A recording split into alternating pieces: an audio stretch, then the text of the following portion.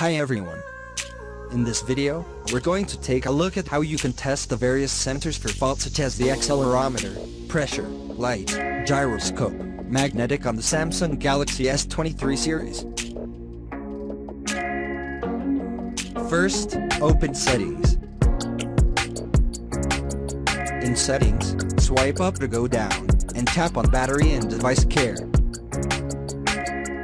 Next, we swipe up to go down and tap on Diagnostics.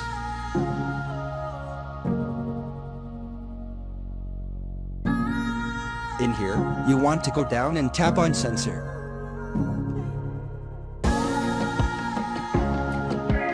Now as soon as you type or tap on the sensor button, it will proceed to test the sensors.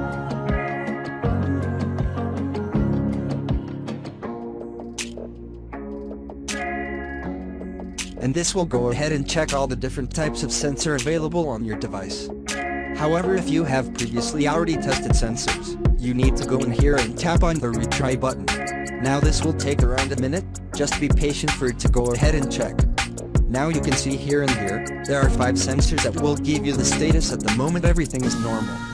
So it will test for the accelerometer, pressure sensor, gyroscope sensor, light sensor, and magnetic sensor.